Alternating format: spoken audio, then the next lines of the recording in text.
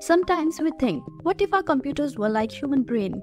Welcome to Simple Technology channel, where we today will explore the world of neuromorphic computing, a field where we eagerly await the unfolding of new chapter in artificial intelligence.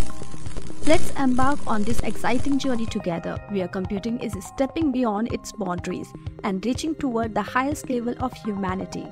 If you prefer to watch this video in Hindi, you can click on the I button above and you will find the link in the description as well. Neuromorphic computing is a unique process inspired by the structure and functionality of the human brain. It involves mimicking the way our brain processes information using artificial neurons and synapses. Neuromorphic chips, commonly employed in computers, can efficiently solve problems and recognize patterns more rapidly and skillfully compared to traditional computers. Due to its inspiration from the intricacy and efficiency of human brain, neuromorphic computing possesses the ability to compete with the emulate the capability of human mind. The field of neuromorphic computing is nascent science, still in its early stages of development. Research in this domain is currently limited to universities, government research institutes, and major tech companies such as IBM and Intel Labs. The expensive financial utility of neuromorphic computing may take some time to fully materialize. However, these are notable examples demonstrating its role in various sectors. Fields like edge computing, robotics, fraud detection, and neuroscience research have already witnessed the potential of neuromorphic computing. Speed and proficiencies are essential in neuromorphic computing, making it a promising area that could usher in the transformative changes in the world of science and technology in the future. As developments unfold, this field has the potential to carve out new direction that could reshape the landscape of science and technology in coming years. According to Kwabe Boahen, a professor at the Stanford University and the expert in neuromorphic computing, the scale of AI computation is doubling every 3 to 4 months in today's world. This emerging technology not only enhances the speed of general computational process but also opens up a new avenue towards surpassing the limitations of Moore's law. Moore's law has traditionally been a crucial metric for the growth of quality in the tech products. The advancement in the neuromorphic computing, as suggested by Boahen, could potentially redefine the trajectory of progress offering a significant benchmark for the enhancement of tech product quality.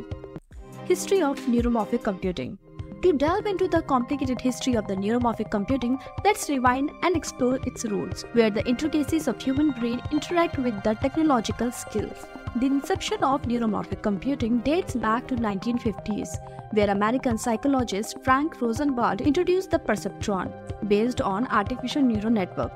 Moving forward, the 90s-80s witnessed the advent of parallel distributed processing, that is PDP, a concept demonstrated by the Rumelhart, McClelland, and Hinton.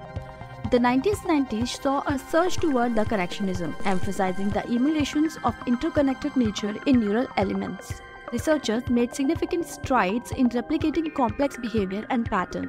As we entered a new era, the focus shifted toward the attention neurons and brain inspired architectures. Spiking neural networks emerged, mimicking brain communication through vibrations.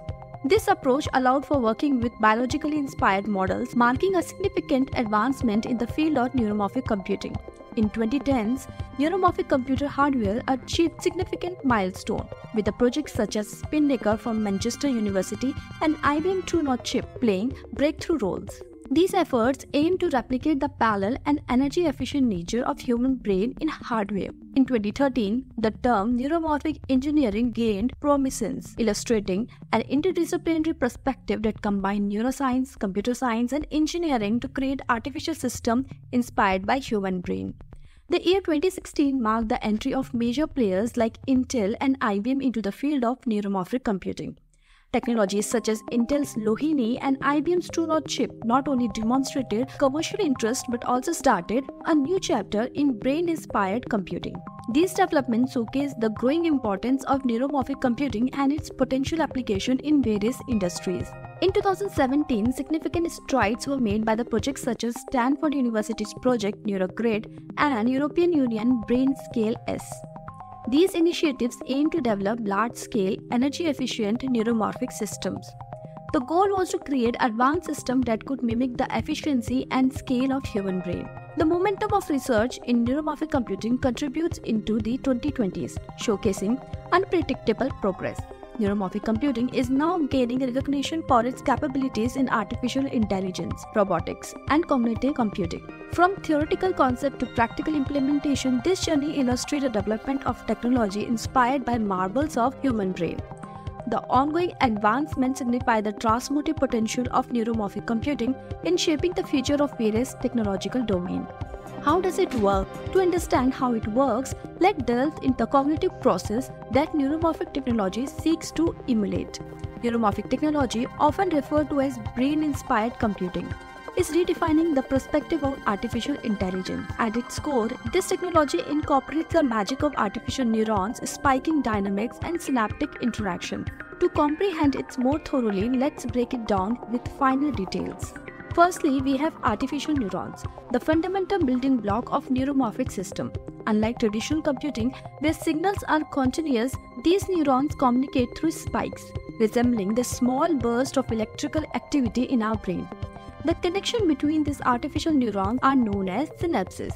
The strength of this connection or the synaptic weight is crucial.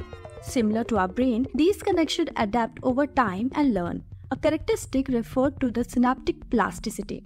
Just like our brain, these connections adjust and learn over time. To better understand synaptic plasticity, think of it as the brain saying, I have learned something new.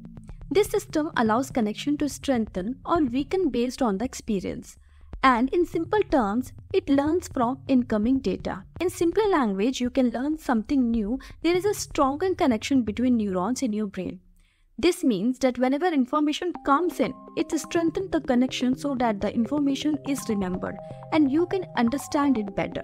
In this way, when new data comes, the system learns how to adjust its connection to store the information correctly. Now let's talk about power specifically the power of parallel processing. Neuromorphic systems claim the ability to perform multiple tasks simultaneously, which is entirely different from the sequential processing approach of traditional computers.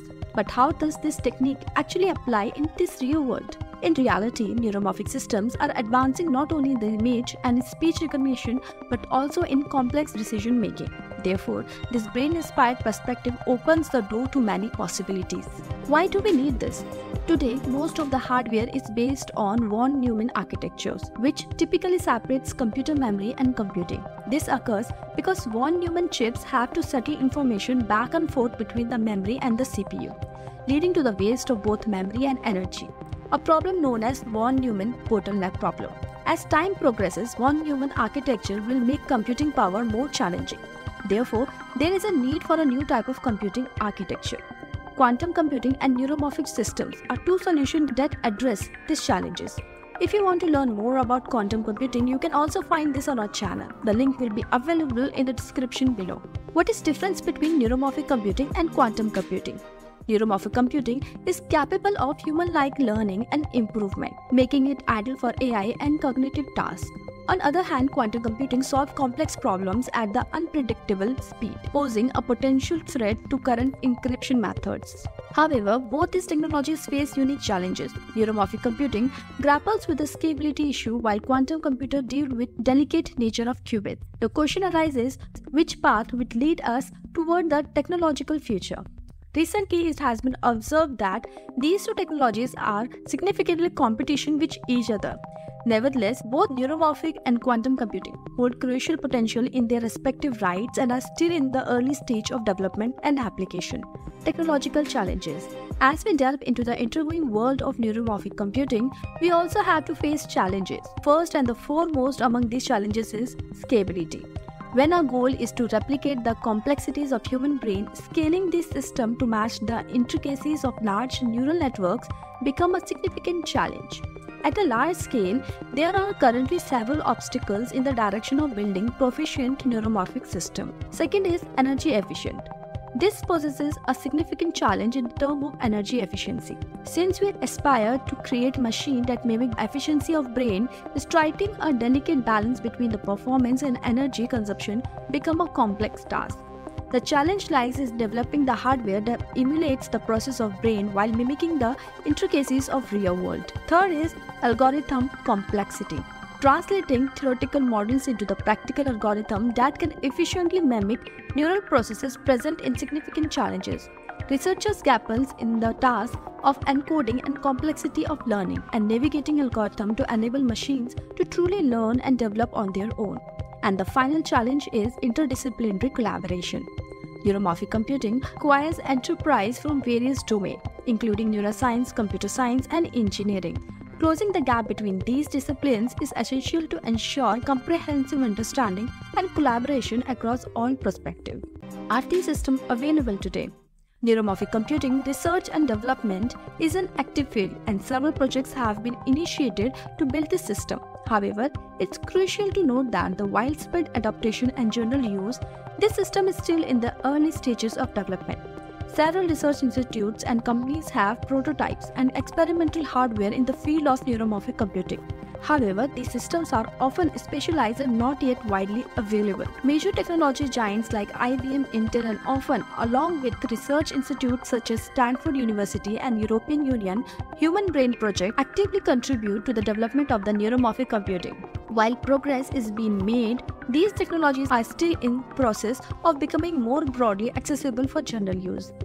For the latest updates, it is advisable to check this institute as technology is being developing rapidly. The commercial availability and widespread availability of practical implementation of neuromorphic computing systems may take more time before they become available for various applications. Before we go, we hope for the future where neuromorphic computing becomes not just a scientific marvel but a transformative force. The challenges we face today are paving the way toward a technological path where machines not only assist us but work collaboratively, bridging the gap between artificial and human intelligence. If you found this journey fascinating, don't forget to comment below with the thoughts and the suggestions. For mind expanding content in the world of technology, subscribe to our channel.